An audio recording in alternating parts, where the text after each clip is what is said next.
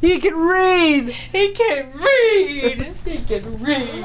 Alright guys, I haven't videoed anything today thus far. I've already made it through the workday. Not going to bore you guys with that. Going to get in the back and get some build done. And I want one of these blankets because, oh my gosh. Okay, intro, here we go. Let's get this on. Get it on. Let's get it on.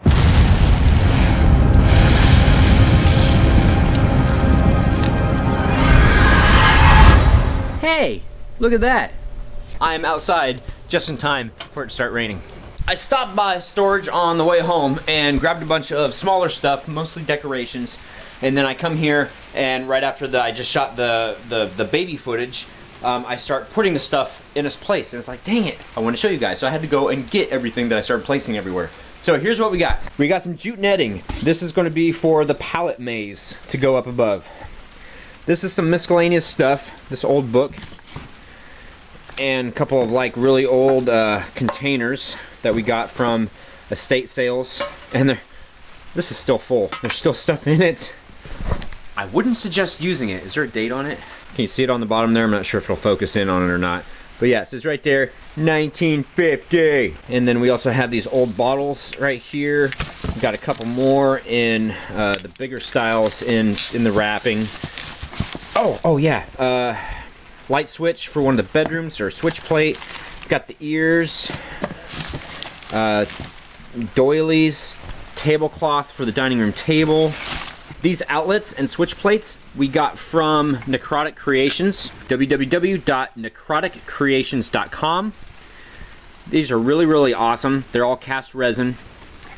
Um, so you can use a double-sided uh, sticky tape to make them work but very very cool. And they come uh, painted. They also come unpainted if you wanted to do your own. So shout out to those guys for those. This mask is going to be one of the masks that we used in the drop panel. Uh, and we also have the uh, camo uh, camouflage suit. Uh, basically ghillie ghillie suit uh, that's for the solarium, and then we've got, you know, your standard creepy cloth to put throughout wherever we need it. Oh, and the Vampir's head. This head right here has been around in my haunt since uh, the very first one. So I went and I moved that stuff around the haunt. My next uh, plan that I got to do is cover this drop panel. So we're outside egress right now. Don't worry guys, that's on the outside. It's doing what it should. It's just dripping on the plastic that I'm trying to put up here. It's a vlog bombing drip. That's what that is right there. I have to go up here and put some plastic closer to this part right here simply because it's dripping right there. It drips there, it drips onto this mechanism here, and then it drips onto the photo. So I have to get rid of that. So that's what I'm gonna do now is I wanna put some plastic up there and stop talking and actually do it. There's the upper roof, and here is the second roof, the second containment, which is going all the way up to the panel there. So our actors out here will stay dry and hopefully the panels will too, including the picture to which is on the panel. Now I'm gonna work on getting this drop panel here hopefully done tonight. Do you guys think I can do it? I gotta go say goodnight to my baby. Good night, baby Phoenix. Mr.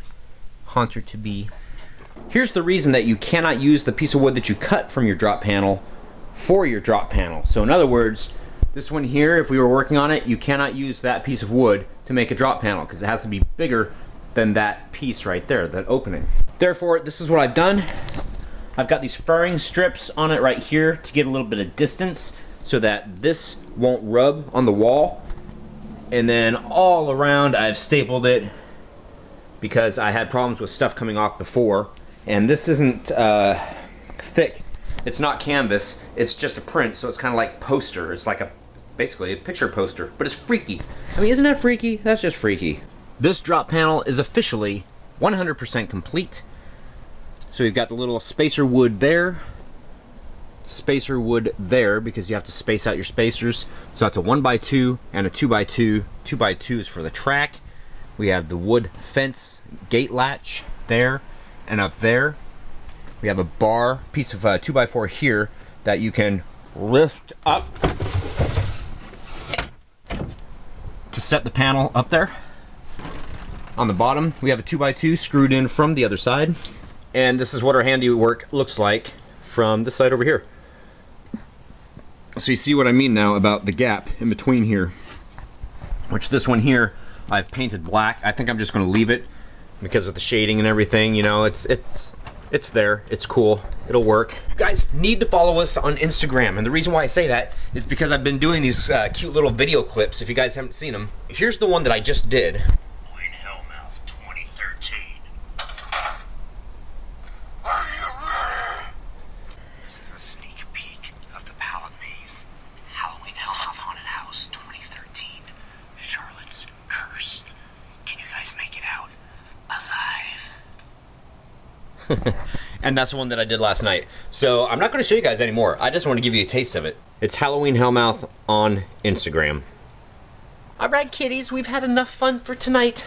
Just between you and me, I woke up late this morning. It really sucked, so I need to go to bed. And we need to go and do cock, like two nights worth of cock. So let's go inside. Lights out! oh my gosh, it is spooky in here. it's totally dark. To save time on Troy editing, we're going to do this extremely quick, and we're actually going to do it quick this time. 175. This is Cock from yesterday's vlog and the day before. Damn it, three five three. Dana. Oh wait. Dana. Oh, Dana. I was right. Wow. Hey, put the camera on me. Slow. Okay. Great, great to see the haunt almost done. Hoping to be able to go through when operating this year. I hope so. Also, Lori Lee, no problem. You had to get food to feed the minions. Glad to be able to help. Oh, Willow. The haunt is huge. How long does it take to tear it all down after Halloween? With all the work, it seems like it'd be up until Christmas. Sometimes it is. it's easier to take it down than it is to put it up. Yes, very true.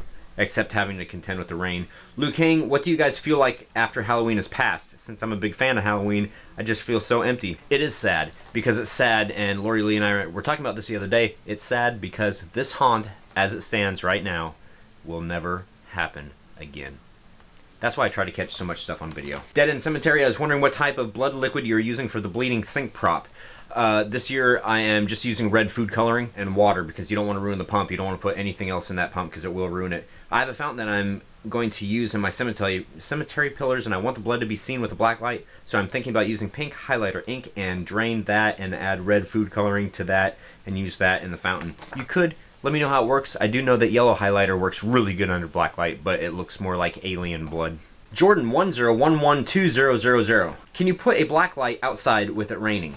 Yes, you have to make sure it's covered. Awoken Nightmare. Did Lori Lee get to drill her doll into the wall again?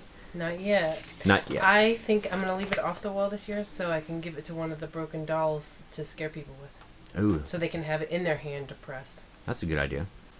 Cause it's creepy when it laughs. Jonathan Mendez. Item number for floodlight reflectors are 23351. I looked it up. Oh my gosh. You are a saint. Look at that. $11 for a three and a quarter inch black LED light. Uh, they have different lenses for 'em so that you can put different colors on it. Freaking awesome. Thank you very much. Our local Lowe's has them in stock. Steve Lewis, looking really good. Could I ask what your favorite Halloween movie is? I'm going to go with the Saw series. Definitely saw. Burt Bean 903 is having a small haunted house in my garage okay, or do I have to get permission? Do it for charity. Adam Owens, ask your question again tomorrow because I'll, I'll film a little bit about it. So put it down in, in comments right now. Sergeant Vice 100, what would be better and cheaper to do, a drop down skeleton or a spider? I'm thinking probably a spider. Skeletons cost a little bit more. Mr. Trev, 272. So now how many rooms are there left to do? Four. Solarium, basement, drop panels, and bathroom. Liu Kang. What does egress mean? Basically, I believe that's your European, but it's just your your exits, your exit pathways and whatnot. So if people have to get out of the haunt in a hurry, that's what they use. It's called the path of egress. The PMV Productions. Can you show us who your biggest fan is so far? Yes, I can. These are our top fans, according to YouTube, and this is engagement. So this means like likes, thumbs up, shares, comments, views, etc. So there you go. Bella Mistrix, a PMV production, Jordan 10112000, and you guys can see him. So freaking awesome. Look at you guys. There you are. Oh, everybody's right there. Look, Lori Lee's not one of my biggest fans. I'm your number one fan. That's almost a freaking outro right there. Jordan. and the numbers. Tell Laura Lee to screw up those dolls. LOL. Lori Lee, screw up the dolls. LOL. Oh wait. Somebody. Already, somebody already did. It looks good enough in there. Andrew Reich. Where do you get all those pallets and uh, and are they free? Yes, all the pallets that we got this year are free or were free, and we one of our actors from last year, her boyfriend works at a place, and he says, "Yeah, we got pallets we just need to get rid of," and I'm like, "Really?" So that's where we got them from. So keep searching, look at Craigslist, etc. You will find them. Awoken Nightmare. Nice job. Couldn't you post flyers at schools in the area to get actors? Yes, and we have at everyone. And also, I'm have ads running in the local uh, military newspapers. And Austin's going to hit the school, or he hit the school today, right? Austin hit this, the my my campus or our campus because me and him went to school together. Hit our campus today, and I already um, am working it out with the high school. Um, so hopefully uh, we'll get some calls from that too. That's it. All right, say happy haunting because Troy wants to go to bed. Happy haunting because Troy wants to go to bed. Happy bed. Troy wants to go happy haunting. I'm your number one fan.